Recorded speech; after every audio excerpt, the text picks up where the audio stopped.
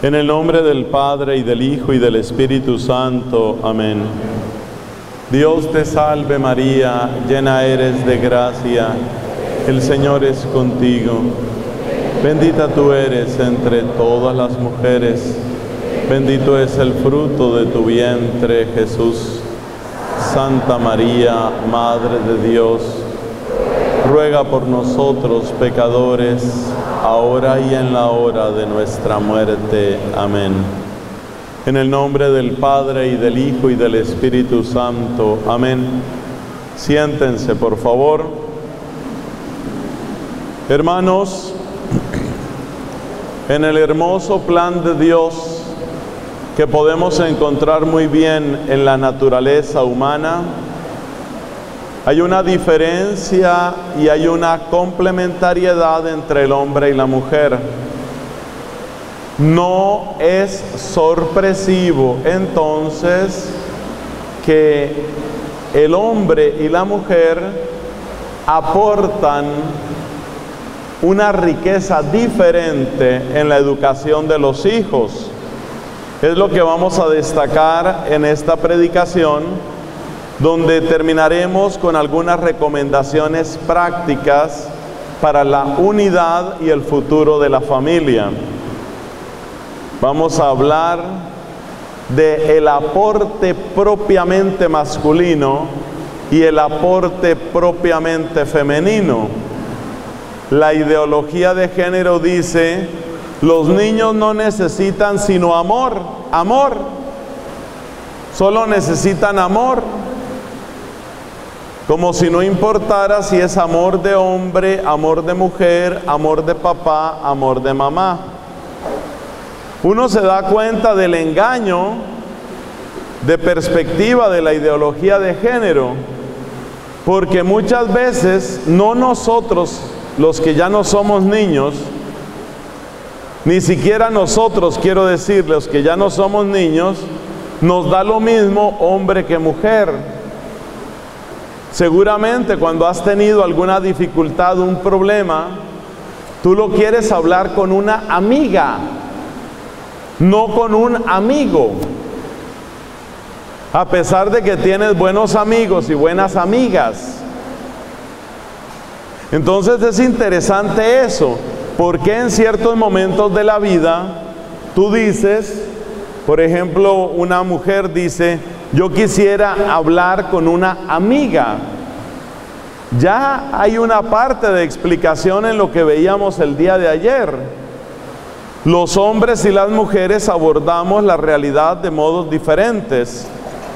El hombre típicamente es un problem fixer, un buscador de soluciones y por consiguiente el varón se enfoca en cómo arreglar el problema. La mujer en cambio suele enfocarse más en qué está viviendo o sintiendo la persona que le habla y en primer lugar atiende a la persona, así todavía no se puede arreglar el problema. Es natural entonces que en ciertos momentos yo prefiero hablar con un hombre porque lo que quiero es ver decisiones específicas.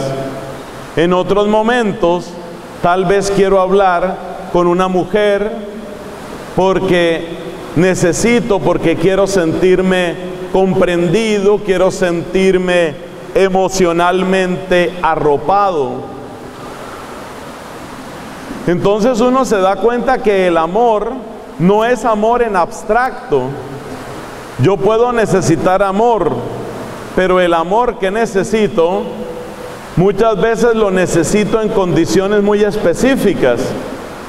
Además, tampoco es que lo del sexo determine todo. Hay veces que yo quiero hablar con una persona de mi país, alguien que me entienda. Yo tuve ocasión de vivir seis años como extranjero, por supuesto, en Irlanda, cuando estaba haciendo mi doctorado. Y había cosas, nostalgias, sentimientos, inquietudes que yo tenía y que no me las iban a entender ellos. Porque ellos tienen su manera de ser, tienen su propia cultura. Para mí era una alegría encontrarme con otros latinos, con otros colombianos, por ejemplo, y comentar cosas que entre nosotros entendíamos.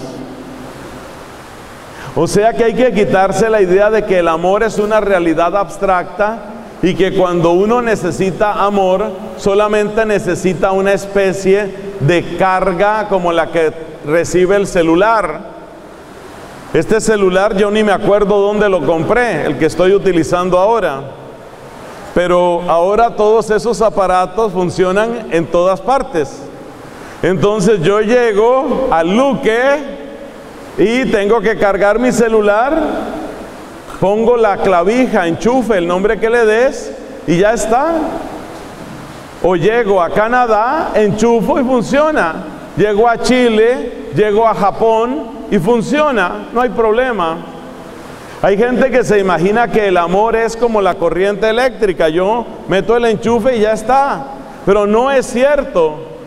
Yo no necesito amor así de corriente eléctrica. Hay veces que necesito ser escuchado por alguien de mi patria. Nosotros los sacerdotes, la mayor parte de los sacerdotes tenemos muchos amigos y muchas amigas. Pero yo personalmente hay ocasiones en que solo me siento a gusto con mis hermanos sacerdotes y quiero hablar cosas con otro sacerdote que sé que me va a entender. Entonces el amor abstracto es un engaño, es el primer punto de esta predicación. El amor siempre tiene rostro y el rostro es edad, cultura y también sexo. Eso es así. Con esa base resulta muy natural darse cuenta que un papá puede dar cosas que no puede dar una mamá y que dejar a un niño voluntariamente impuesto por la ley sin papá es vulnerar los derechos del niño. Porque el niño necesita esa complementariedad del amor de hombre, amor de papá y amor de mamá. Pero vamos a ver qué es lo que puede dar el amor de mamá y qué es lo que puede dar el amor de papá. Y este tema, debo confesarlo, es uno de mis temas favoritos. Favorito. Vamos a empezar por la característica propia del amor de mamá. El amor de mamá. ¿Qué tiene de particular el amor de mamá? El autor que me ayudó a descubrir lo que les voy a compartir es Santo Tomás de Aquino, porque Santo Tomás se pone a estudiar en un documento que se llama Sobre las razones de la fe, de Rationibus Fidei, se pone a estudiar muy brevemente, pero con una gran profundidad, se pone a estudiar algo sobre la Santísima Trinidad. Y nosotros sabemos que en la Trinidad decimos que es Dios Padre, Hijo y Espíritu Santo. Entonces Santo Tomás estudia cuál es la diferencia entre ser padre y ser madre. Es decir, ¿por qué no decimos que Dios es madre? La Biblia no lo dice nunca aunque ciertamente dice que lo mejor del amor de una mamá también está en Dios. Pero la Biblia nunca llama a Dios madre. Y Jesucristo no nos enseñó a decir madre nuestra, sino Padre nuestro. A un gran teólogo y pensador como Santo Tomás le tenía que llamar la atención ese hecho, porque se dice Padre. Y entonces Santo Tomás nos da una primera clave tanto el papá como la mamá transmiten su propia naturaleza a los hijos. En eso se parecen. Evidentemente, una mujer tiene como hijos seres humanos. Un varón, un hombre, tiene como hijos seres humanos. Eso se llama transmisión de la misma naturaleza. Dicho de una manera brusca, de una mujer no nacen perritos. De un hombre, un hombre no engendra gaticos. Hay transmisión de la naturaleza. En eso se parecen. Pero aquí viene la parte fina de Santo Tomás que nos ayuda a descubrir la maravilla del amor materno y luego descubrir las características propias del amor paterno. ¿Qué tiene el amor materno? La palabra clave es continuidad. Para las tres personas que siguen tomando apuntes, ayer empezaron 17, van quedando tres. La palabra clave es continuidad. ¿Qué quiere decir continuidad? Continuidad quiere decir que la manera, oiga esto que es un poquito filosófico, pero usted me lo entiende muy bien. La manera como se establece la relación entre la madre y el hijo es como si el hijo fuera parte de la madre. Es decir, hay una continuidad entre madre e hijo. Daría la impresión de que el hijo es una parte de la mamá. Empieza a crecer dentro de ella a crecer dentro de ella. Ella siente al hijo como parte suya. Esa experiencia no la tiene el varón. Y ahí es donde a veces se me acaba a mí la paciencia con la ideología de género. Yo digo, ¿cómo se pueden igualar amor de hombre y amor de mujer si hay experiencias absolutamente únicas de la mujer y hay experiencias absolutamente únicas del hombre? Un hombre no tiene la experiencia del amor de continuidad. Y esto marca profundísimamente al varón. El amor de continuidad en la mujer, ¿qué quiere decir? Que ella siente al hijo, o hija obviamente, ella siente al hijo como una prolongación de ella misma, como si fuera una parte de ella misma. Esto explica muchas cosas, de las cuales quiero recordar tres. Esto explica por qué algunas mujeres sufren depresión postparto.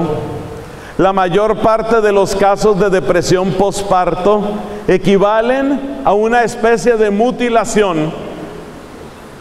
Cuando una persona, lamentablemente, Dios nos libre, tiene por ejemplo un proceso de gangrena, le tienen que quitar una pierna, le tienen que quitar una mano, aunque le pongan la mejor de las prótesis, la persona entra en una tristeza muy profunda, ha perdido algo suyo.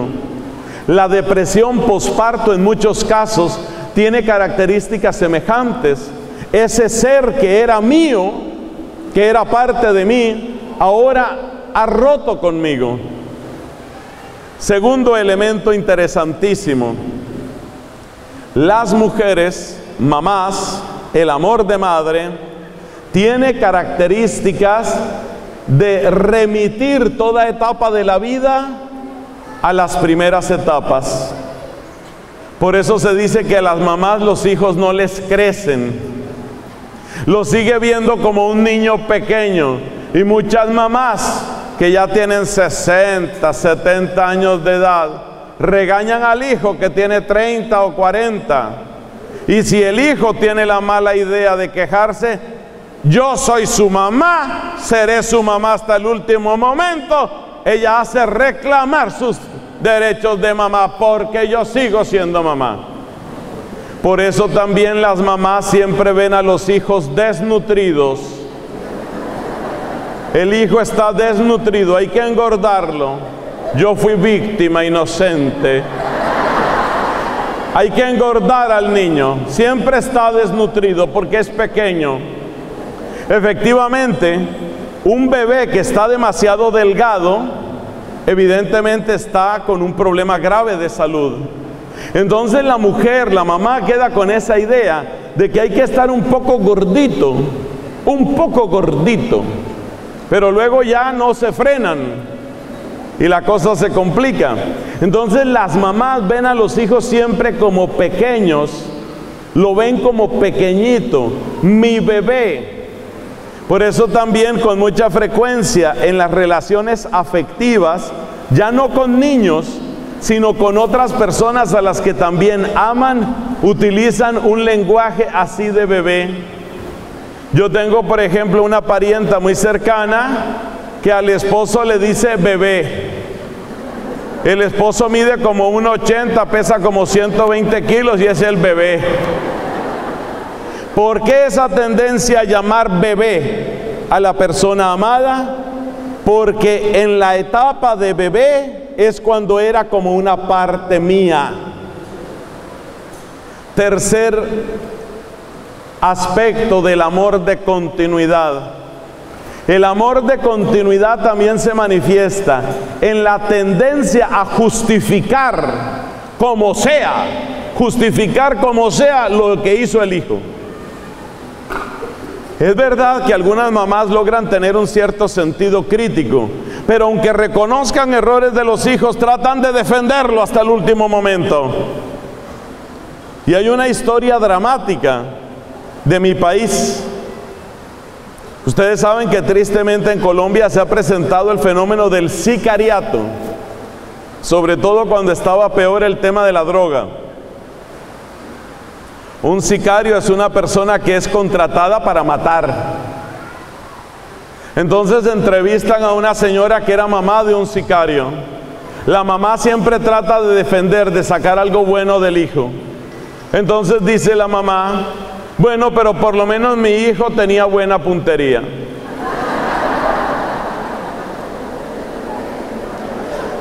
Esa tendencia a defender al hijo Defenderlo como sea, tratar de sacar algo bueno. Siempre el problema es que a mi hijo no lo entienden. Siempre la culpa está afuera. Pero mi hijito, pobrecito, incomprendido, mi muchachito, nadie lo entiende. Eso es propio del amor de continuidad. El amor de continuidad es algo extraordinario. El amor de continuidad se manifiesta particularmente en la maternidad, pero es algo que acompaña el ser de la mujer. Y es algo absolutamente precioso, porque precisamente el amor de continuidad que se manifiesta con tanta fuerza en la inmensa mayoría de las mujeres, es el que hace que cuando una mujer quiere a otra persona, a su amigo, a su amiga, a su esposo, cuando lo quiere, realmente se compromete a favor de él, lo defiende. Por eso la mujer cuando ama, ama con todo su ser, se involucra, se compromete totalmente. Es impresionante la capacidad de, compromiso de una mujer, la capacidad de entrega de una mujer. Es algo absolutamente admirable y es una consecuencia directa del amor de continuidad. En la Biblia lo encontramos. ¿Quiénes están alrededor de la cruz? Hay un solo hombre de los de Cristo. Hay un solo hombre. ¿Quién? Juan. Pero usted sabe por qué está Juan ahí, ¿no? Algunos no se acuerdan. Resulta que Juan era pariente del sumo sacerdote o sea que él estaba ahí porque él sabía, a mí no me van a hacer nada, yo soy pariente del sumo sacerdote, yo estoy aquí seguro, aquí no me pasa nada. Los demás que sí tenían motivo de temer por su vida, ¿dónde estaban? Cada uno metido en una cueva distinta. Los hombres acobardados y las mujeres al pie. María Santísima, María la de Cleofás, María Magdalena, y luego cuando van a enterrar a Jesucristo, reaparecen unos hombres a última hora, Nicodemo y José de Arimatea, para negociar la entrega del cadáver de Cristo y para que haya una tumba donde dejarlo. Reaparecen los hombres a resolver el problema y se van. Vuelve y se van los hombres. ¿Quiénes están en la mañana del domingo? ¿Quiénes están? ¿Quiénes? Las mujeres. Esa es la capacidad de compromiso. ¿Y a qué van esas mujeres al sepulcro? Ya está muerto, ya ahí no hay nada que resolver, no hay ningún problema para resolver. Y los hombres solemos ser resolvedores de problemas. Como no hay ningún problema que resolver, los hombres están por allá escondidos resolviendo otro problema, que no me maten. Las mujeres, ¿dónde están? Las mujeres van camino del sepulcro, venciendo dos absurdos, dos absurdos. Primer absurdo, ellas mismas no saben cómo van a mover la piedra del sepulcro, pero siguen avanzando hacia el sepulcro. Y segundo absurdo, claramente al ir hacia el sepulcro de Cristo se muestran como discípulas de Cristo. Se están poniendo en peligro ellas mismas, no les importa. Todavía le puedo añadir un tercer absurdo. ¿A qué van? A echarle una gran cantidad de mirra y otras sustancias perfumadas al cadáver de Cristo. Ya está muerto, pero aunque esté muerto, no es cualquier muerto. Esa es una mujer, ese es el valor de la mujer. No es cualquier muerto. No se le pudo enterrar bien el viernes, entonces vamos el domingo a que quede bien enterrado, porque él no es cualquier muerto y no lo van a dejar de cualquier manera. Esas son las mujeres. Entonces ese es el amor de continuidad, amor de compromiso, amor de generosidad, amor incondicional, amor que te soporta, te sostiene. La palabra clave aquí es, amor de continuidad es amor que te sostiene. Fíjate cómo en otra de nuestras charlas hablábamos de cómo el hombre precisamente busca eso en la mujer, busca apoyo en la mujer. Y es muy concorde con la naturaleza femenina eso. Es una alegría para la mujer encontrar una causa o encontrar una persona a la cual se entrega con todo su ser. Si esa mujer no encuentra algo bueno, bueno a qué entregarse, entonces se entrega a algo malo. Si ustedes miran el movimiento abortista en Argentina, ¿quiénes lo sostienen? Mujeres. Y el día que esas mujeres descubren que pueden luchar por lo que ellas llaman derechos reproductivos de la mujer, el día que encuentran una causa que realmente les llama, les atrae, les enciende el corazón, ese día esas mujeres salen a las calles con sus pañuelos verdes a decir, aborto ya, aborto sí. Esa capacidad de generosidad de la mujer para lo bueno o para lo malo es parte del amor de continuidad. Entonces una mamá, ¿qué es lo que le va a dar al hijo? La palabra clave es soporte, sostiene. La mujer mamá soporta, sostiene, le ayuda al hijo o a la hija, siempre se entiende, le ayuda al hijo o a la hija, le ayuda en el momento difícil, le ayuda para decirle, no todo está perdido, le ayuda para decirle, aquí estoy. ¿Qué podía hacer la Virgen María al pie de la cruz? Nada. Humanamente hablando, nada. Pero ella está ahí y su mirada bendita y su corazón purísimo le están diciendo a Jesús, aquí estoy, hijo mío, aquí estoy contigo. Le da un soporte increíble, eso es lo más propio del amor de continuidad. Después de todos estos elogios, veo muy preocupados a los varones. Los varones estarán diciendo, ¿y entonces nosotros qué?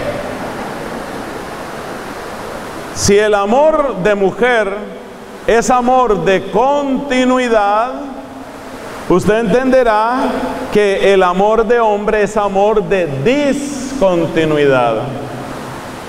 Pero como hemos dicho tantos elogios sobre el amor de continuidad, usted se preguntará qué puede tener de bueno y qué puede aportar el amor de discontinuidad. Le tengo buenas noticias. El corazón humano también necesita amor de discontinuidad. ¿Cómo empieza el amor de discontinuidad? Volvamos al caso de la mujer embarazada. La mujer embarazada empieza a sentir su cuerpo un poco distinto.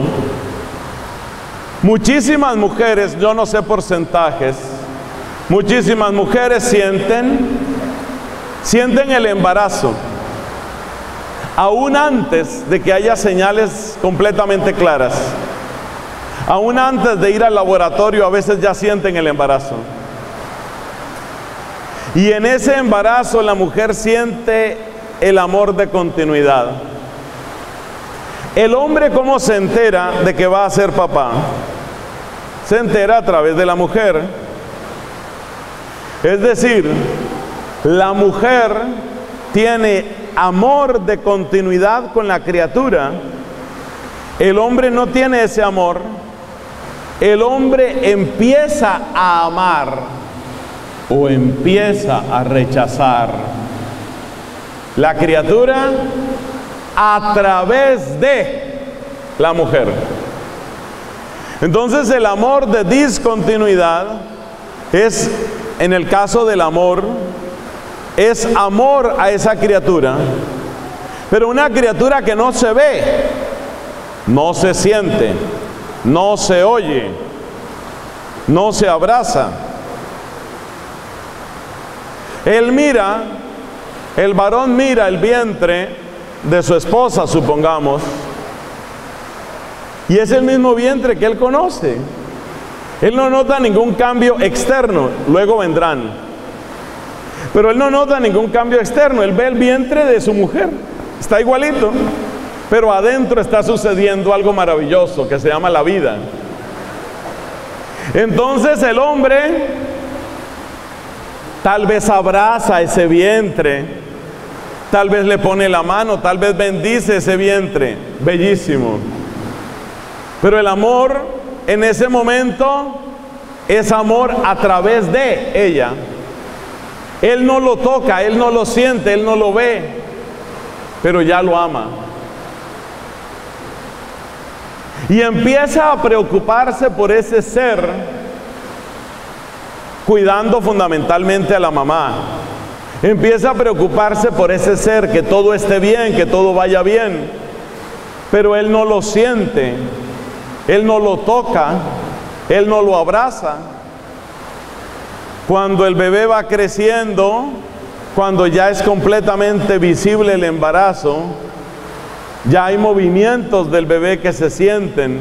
Una buena ecografía deja ver algo de la cara, donde usted se da cuenta que si usted es feo, su hijo le heredó los rasgos. Entonces las ecografías y el proceso mismo del embarazo hacen que el varón sienta un poco más cercano a ese bebé. Pero hay un amor de discontinuidad.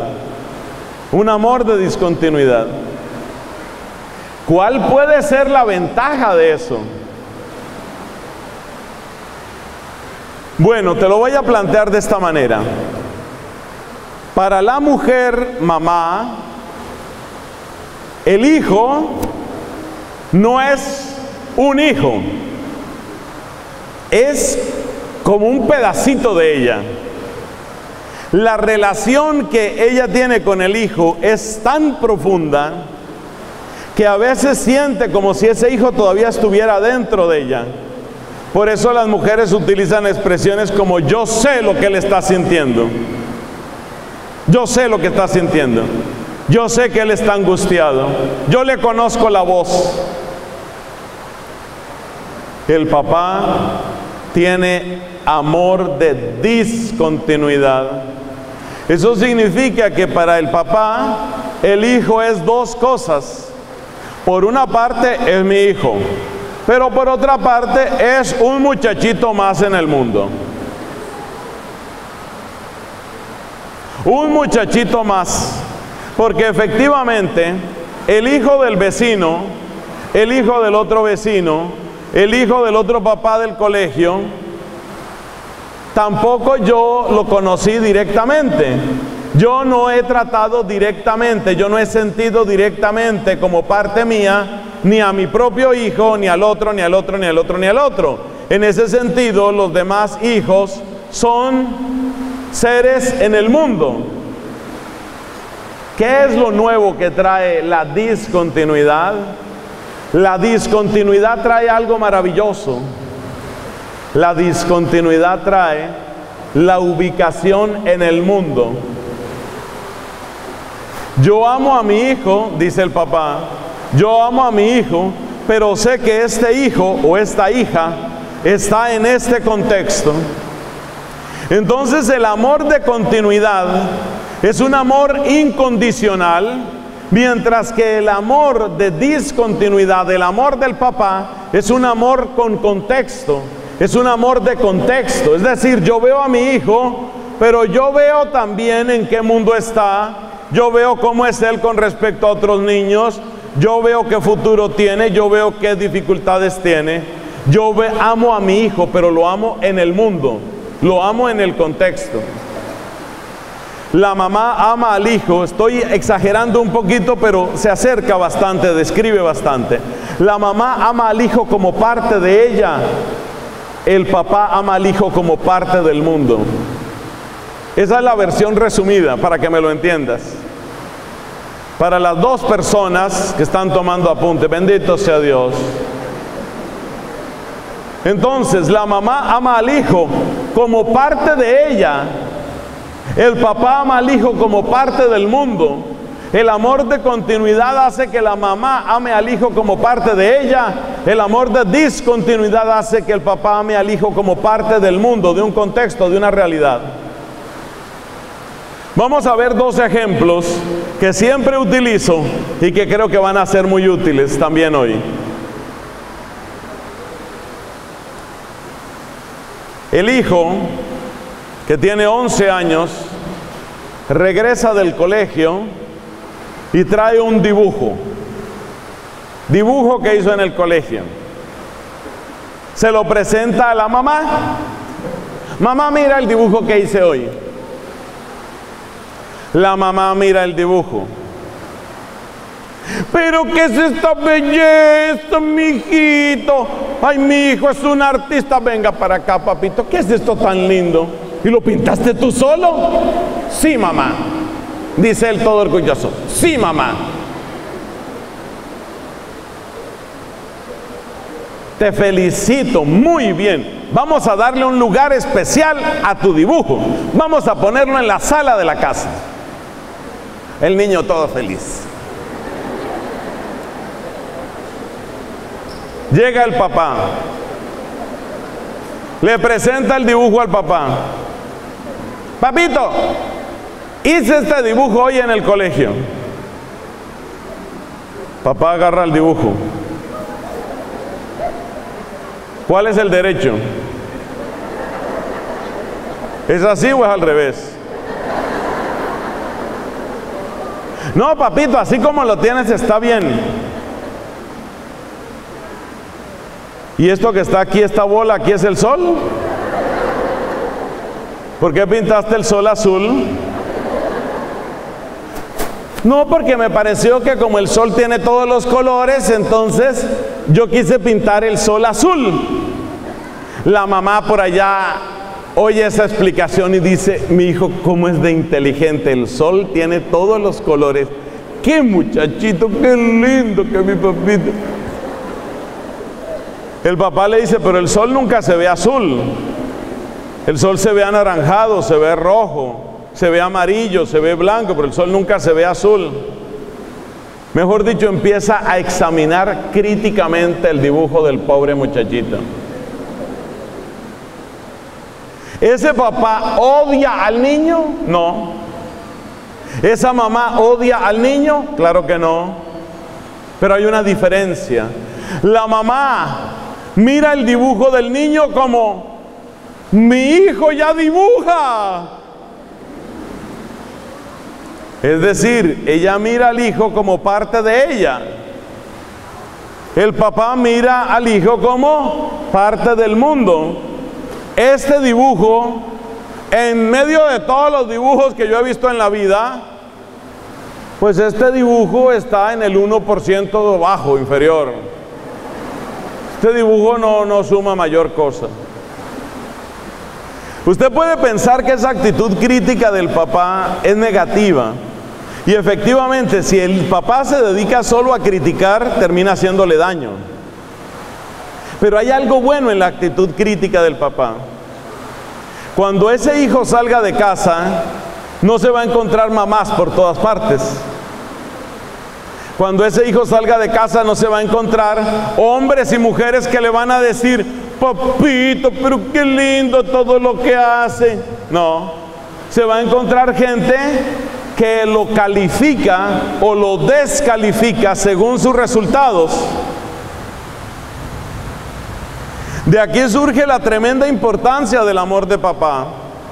Un buen papá ama al hijo, pero al mismo tiempo que ama al hijo, es crítico con el hijo porque ve en qué mundo estamos y porque ve qué desafíos va a tener que afrontar. Hijo, yo he visto que usted está estudiando esto de ciencia política. Perdóneme que le haga una pregunta, hijo, ¿usted qué va a hacer con eso? No, papá, es que yo siento que eso me inspira, a mí me gusta, me atrae, soy bueno. He escrito varios ensayos, uno de ellos fue premiado en la universidad. A mí me va muy bien en eso. El papá le dice, tuteándolo ya, te felicito hijo, muy bien. Yo sé que tú tienes grandes capacidades. Yo siempre me he sentido orgulloso de ti. Fíjate, ese es un buen papá, le añade la parte de cariño también, de apoyo. Él también tiene que aprender a apoyar un poco, pero vuelve a la carga. Pero mi pregunta es, tú no vas a estar en la universidad todo el tiempo. Tú has pensado en términos de empleo, en términos de tu vida, qué va a ser tu vida más adelante. Eso lo has pensado también. El papá lo sitúa en el contexto, el papá lo sitúa en el mundo. Ese amor de papá, ese amor que sitúa, se va convirtiendo poco a poco en un saludable desafío. Y le termina en esa conversación, le dice el papá al hijo, hijo universitario, le dice, hijo, tú sabes que siempre cuentas conmigo. Si yo te pregunto esto, si yo te cuestiono un poco, es por tu propio bien. Dejemos pasar unos meses y te voy a volver a preguntar y yo quiero saber hacia dónde estás orientando tu vida. Es por tu propio bien.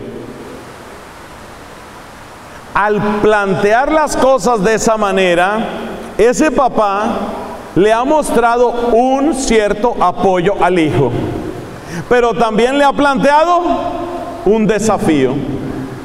El amor de discontinuidad es el amor del saludable desafío. Yo sé, también la mujer puede poner saludables desafíos. Yo sé, también el hombre puede dar apoyo incondicional. Yo sé que ambos tienen que hacer ambas cosas, pero desde la naturaleza de lo que cada uno es, cada uno tiene su propio énfasis. Y el hijo sale ganando, el hijo sale beneficiado con ese cambio de énfasis que se da con el papá y con la mamá. ¿Por qué? Porque entonces pensemos en un hijo que tiene su papá y su mamá. Y tiene ese amor masculino y paterno y tiene ese amor femenino y materno. ¿Qué recibe ese hijo? Ese hijo recibe una fuerza y una dirección increíbles. ¿Por qué? Porque particularmente a partir de la mamá recibe soporte. El soporte que le protege su pasado y le da cimiento a su presencia en el mundo. Se siente soportado, sostenido. ¿Y el papá que le da? El papá le da una ayuda, una luz para que tenga una dirección y un desafío. Entonces, las dos palabras que parece que son claves aquí son la palabra soporte y la palabra desafío. Ambos tienen que hacer ambas cosas, pero desde su propia naturaleza materna, la mamá prestará un servicio absolutamente único, e invaluable, en ese planteamiento de soporte. Y el papá ofrecerá un servicio único si llega a realmente plantear ese saludable desafío. El soporte incondicional y el saludable desafío. Esa es la receta para los hijos. Esa es la receta. Soporte incondicional que viene de ambos, pero muy particularmente de la mamá.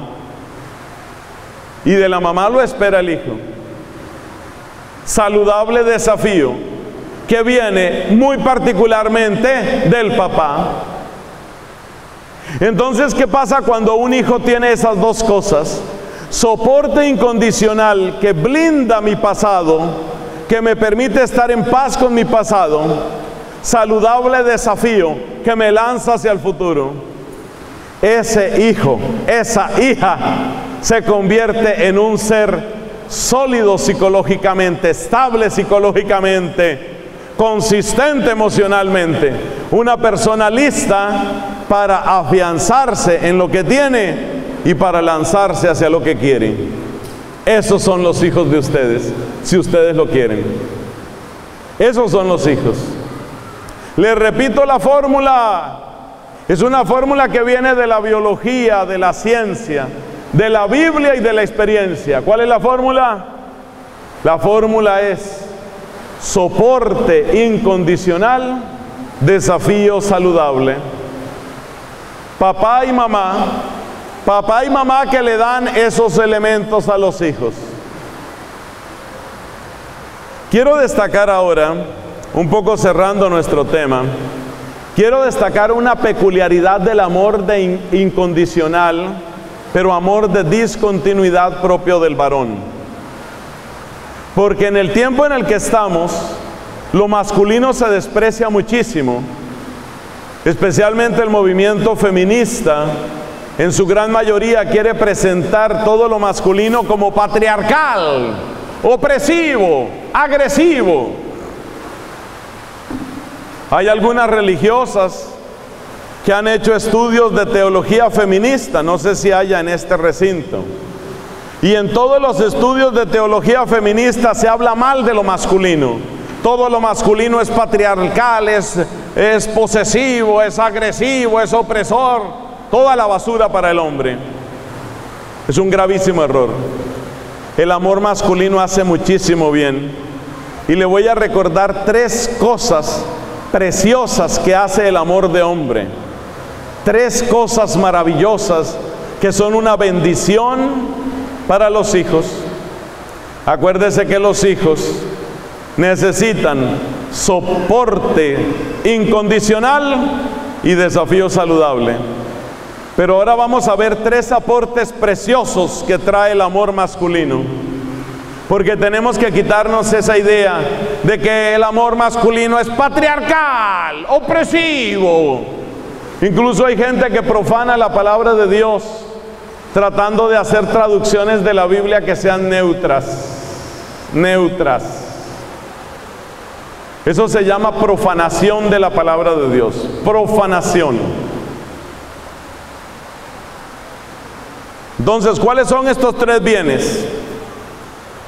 El primer bien que le quiero contar es que el amor masculino es una consecuencia directa de lo que hemos dicho el amor masculino, pero tiene que ser amor. Cuidado por favor con esos papás que creen que su único deber es traer plata y regañar. Así como usted puede tener ese sentido crítico, yo le pido, y se lo pido en el nombre de Cristo, usted tiene un hermoso deber de manifestar amor. Entonces, primera gran ventaja, nada prepara mejor para la vida que el amor de papá. El amor de papá es extraordinario. Porque el amor de papá no es solamente que es mi hijo y que yo lo quiero mucho y que él tiene que surgir. No, es hijo, prepárese usted. Prepárese usted. Porque va a tener combate. Porque usted no va a estar debajo de las, de, las faldas de su mamá todo el tiempo. Prepárese usted. Y ese prepárese usted al hijo o a la hija. Eso es la mejor preparación para el mundo. Porque el mundo va a ser así. Entonces el amor de papá prepara para el mundo. Si falta ese amor de papá, muchas personas tienen una terrible inseguridad. Amigos, no puede ser coincidencia que la época en la que vivimos es una época en la que todo lo masculino se critica y en la que la mayoría de los jóvenes tienen una inseguridad profunda. Hay países como Italia en donde los hijos simplemente no quieren salir de la casa de los papás. ¿Por qué? No están preparados para salir. ¿Por qué? Falta de amor masculino. Falta de preparación para afrontar la realidad de la vida. ¿Qué sucede cuando una persona quiere estar ahí metida en la casa, metida en la casa, no salir de su casa, no salir de su nido? Esa persona en el fondo lo que quiere es que la vida entera sea puro amor de madre. Porque las mamás ciertamente, salvo excepciones, las mamás ciertamente lo que quieren es eso. Gallinitas y los pollitos. Mis pollos. Mis pollos cercanos. Mi hijito pobrecito. Excepto la mamá de aquel cuento que eché la otra vez también aquí en Paraguay. ¿Cuál fue esa otra mamá? La mamá que llegó a la casa Betico, ¿dónde está mi bebé? Betico. El niño se llamaba Alberto, ¿no? ¿Dónde está mi bebé Betico? Por allá del tercer piso sale la voz, nombre grande. Mamá, yo no soy ningún Betico, yo soy Alberto. Dándosela de grande. Entonces la mamá, mamá inteligente, dice, Ah, ya creciste. Entonces a ver cuánto vas a aportar para el agua, la luz, el teléfono y el internet. Y responde el hijo, aquí estoy mamá.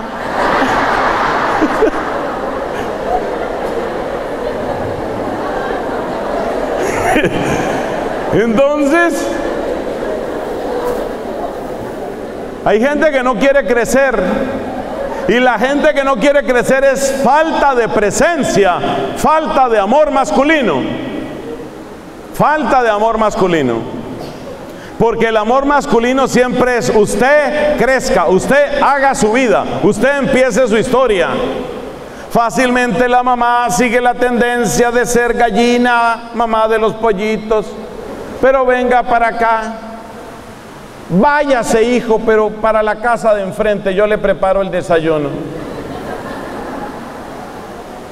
Entonces el papá, el amor masculino, prepara de una manera única para la vida. Segundo, un segundo bien muy grande. Puesto que usualmente los hombres somos mucho más escépticos y mucho más críticos, el abrazo de un papá eso vale demasiado. El bien que un abrazo de papá puede hacer es increíble. Y yo exhorto a los papás aquí presentes, abracen a sus hijos. El abrazo de un papá, abrazo de brazo fuerte, eso hace mucho bien. Porque precisamente como el papá suele ser más crítico, más escéptico por aquello que hemos dicho del amor de discontinuidad, que toma distancia, toma distancia y dice, puede ser mi hijo, pero no le creo. Esa distancia, ese escepticismo del papá hace que sean particularmente valiosos sus abrazos. Los abrazos de papá valen demasiado. Abracen a sus hijos. Entonces ese hijo que ha tenido que vencer obstáculos para lograr su grado, pero que finalmente se recibe y tiene su grado y recibe entonces un abrazo del papá, pero un abrazo con el alma. Ese abrazo tiene una fuerza maravillosa. Es como un respaldo, es como una plataforma que lanza ese hijo a la estratosfera. Abracen a sus hijos, quiéranlos. Es verdad que ustedes pueden tener posturas críticas a veces, pero no dejen de decirles cosas buenas a los hijos y cosas cariñosas a los hijos. Y ni qué decir, y este es el tercer punto con las hijas. En todas partes lo digo, también lo voy a repetir aquí. Es absolutamente fundamental el cariño de papá para las niñas. Absolutamente fundamental. Se lo voy a explicar de esta manera. El abrazo de un papá a una hija es un amor sin deseo. Estamos hablando de un caso normal, aquí no hablamos de depravados ni cosas de esas. No es el objetivo del Congreso. un papá normal que ama a su familia, que ama a sus hijos y a sus hijas, ese papá le da un abrazo cariñoso a su niña. Ese abrazo es amor sin deseo. La ama pero no la desea. Cuando una mujer ha recibido muchas veces amor sin deseo, luego entiende y distingue muy bien lo que es deseo sin amor. Porque el mayor daño se les hace a las mujeres cuando ellas esperan y buscan amor y lo que se les da es deseo. Pero una hija que ha recibido muchísimo amor de su papá es una hija que está particularmente defendida para ese tipo de trampa. Papás, quieran mucho a sus hijos. Mucho, mucho. Quieranlos mucho. No les estoy diciendo que se conviertan en una segunda mamá, como propone el, lobby LGBT. No. Tú eres varón y tú amas como varón. Eso está bien. Amas como varón. Pero, pero, no se te cae nada de tu ser masculino con que en el momento oportuno sonrías, abraces, digas algo bonito y si es del caso, llores. No tengas miedo de llorar cuando hay que llorar. Eso hace bien en tu familia. Hay que abrazar a los hijos. Ese hijo varón tuyo, al que solo lo regañas y lo regañas y lo regañas, ese hijo varón tuyo también necesita que con alguna frecuencia le sonrías, le apruebes, le felicites, le aplaudas, lo acompañes y lo abraces. Y esa hija tuya no solo necesita que tú le digas lo dura que es la vida, esa hija tuya también necesita un día simplemente lanzarse a tus brazos y sentir que tiene un papá que la ama verdaderamente. Esa hija necesita sentirse amada. Y cuanto más amada se sienta esa hija, mucho menos probable, siempre hay un margen de riesgo, pero mucho menos probable será que esa muchacha cometa un grave error con su afectividad o con su propio cuerpo. Terminemos con unas breves claves para la familia. Primera clave, es una frase que escuché hace muchos años y jamás la pude olvidar. Para las seis personas que están tomando apuntes, o sea que hubo cuatro que se arrepintieron. Primera frase. Los hijos no solo necesitan que los papás los amen, sino que los papás se amen. Primer consejo Exprésense amor en familia. Es importante que los hijos vean que los papás se saludan, ríen juntos, se besan con cariño, se besan como hombre y mujer. Eso es muy importante. Los hijos no solo necesitan que los papás los amen a ellos, a los hijos, sino que los papás se amen entre ellos. Papito y mamita, hay que amarse, hay que respetarse delante de los hijos. Segundo punto, segundo punto, pongan reglas claras de comunicación en la casa. El gran enemigo de todo lo que hemos estado conversando en este Congreso es la falta de comunicación. Yo les pido reglas claras de comunicación en la casa. ¿Cuáles son esas reglas? Por ejemplo, en las comidas no usamos el celular. No permitan ustedes que su hijo adolescente se meta en el celular mientras acaba toda prisa la sopa para luego irse a hablar con no sé quién o para luego irse a reunir con no sé quién. Custodien los tiempos de comunicación en la casa. Durante las comidas y quizás en otros momentos, no hay celular en la casa. No se usa el celular, quiero decir. Otro ejemplo que es muy útil, si son valientes ustedes, saquen los televisores de las alcobas. El único lugar donde debe estar el televisor o televisores es en las zonas sociales y comunes. Incluso para la pareja misma. Yo sé que la gran mayoría de las parejas tienen televisor en la alcoba.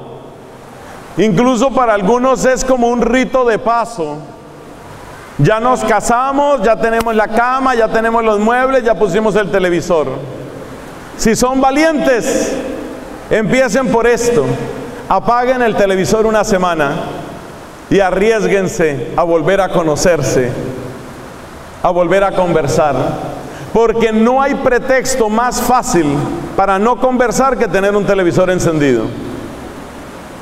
Saquen los televisores de las habitaciones, sáquenlos sáquenlos. Eso mejora la comunicación. Tercera regla de la comunicación. Siempre saludamos por la mañana, siempre nos despedimos por la noche y siempre podemos preguntar, ¿cómo estás? y recibir una respuesta real. Mire, con que usted aplique lo del celular, lo del televisor, y lo de la conversación, su familia automáticamente sube varios niveles, automáticamente. Siempre saludamos por la mañana, siempre nos despedimos por la noche y siempre tenemos el derecho de preguntar cómo estás y recibir una respuesta real. No permitan ustedes que sus hijos les den respuesta en forma de gruñido. Hija, ¿cómo has estado? Ah, ¿Ahí qué dijo? No sé, no sé, algo dijo, algo ignoto, confuso, equívoco y análogo. No sé qué dijo. Tú eres mi hija, yo te amo a ti, tú eres importante para mí, tú vives en mi casa, yo soy feliz de que vivas en mi casa, yo tengo derecho a recibir algo más claro que... Que ya casi es... Yo tengo derecho a recibir una respuesta real de ti. Y lo mismo que la hija chiquita de 8 años tenga derecho a preguntarle al papá, papito, ¿cómo te fue hoy en el trabajo? Y que ella reciba una respuesta real, porque los primeros que a veces dañamos la comunicación en la casa somos los adultos. Llega el papá a la casa, la hijita le pregunta a la hija de 7 años, ¿Cómo te fue?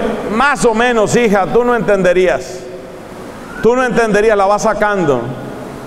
Los hijos tienen derecho a saber tú cómo estás. Papito, ¿cómo estás? Hija, no ha sido un día tan fácil. La niña tiene siete años, no le puedes explicar todo porque no lo va a entender, pero sí le puedes decir más. Ha sido un día difícil. Sabes, hija, Hoy íbamos a cerrar varios negocios importantes y al final se nos presentaron tantos problemas que solo pudimos cerrar uno. Estoy un poquito preocupado por eso. Gracias por preguntarme, mi princesa. Venga, un abrazo. Esa es la manera.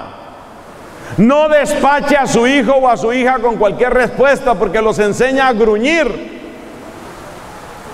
Primer consejo, los hijos no solo necesitan que los papás los amen, sino que los papás se amen. Segundo consejo, cuide la comunicación en la casa, cuídela. Tercer y último consejo, tengan momentos de oración en familia. No es solo que vamos juntos a misa, que ya es bastante. Momento de oración un rosario a la semana, por lo menos, lo mínimo, mínimo, mínimo, un rosario a la semana. Tengan oración ustedes en familia, juntos. Tengan oración como familia, por lo menos una vez a la semana. Y según Efesios capítulo 5, el que debe dirigir la oración es el papá. El papá no debe tolerar la oración. El papá debe dirigir y animar la oración. Otro día, en otro congreso, si es que me vuelven a invitar, hablaremos sobre eso, sobre esa parte de la autoridad. No podemos ver todos los temas en un solo congreso. Pero sí le digo, tengan oración por lo menos una vez a la semana y quien debe dirigir la oración es el papá. Muy recomendable el Santo Rosario. Resumen de los tres consejos. Consejo número uno, los hijos necesitan que ustedes se amen y que se muestren amor. Consejo número dos, cuiden la comunicación, por eso les recomendé los celulares, la televisión y las conversaciones. Consejo número tres, tengan momentos de oración por lo menos una vez a la semana y quien lo debe dirigir es el papá. Que Dios nos ayude, que Dios cuide esta hermosa nación que está siendo y va a ser muy atacada porque defiende la vida y porque defiende la familia. Gloria al Padre, al Hijo y al Espíritu Santo